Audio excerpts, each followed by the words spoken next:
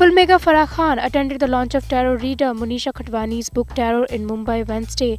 Besides her, many other celebrities including RJ Malishka, singer Shibani Kashyap and actress Shilpa Saklani Agnihotri were also seen. Here, Farah revealed that it was Monisha who predicted that she would be making Happy New Year with actor Shah Rukh Khan. Uh, actually predicted uh, how many years ago? Two years ago? Two, three years ago she predicted that I'll be making Happy New Year and she predicted I'll be making it with Shah Rukh. And in fact that time I wasn't she said get back and you make Happy New Year, it's going to be a huge hit. As of now, Farah is rejoicing the success of her film Happy New Year.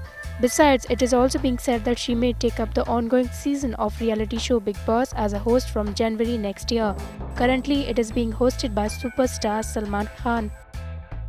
IANS report.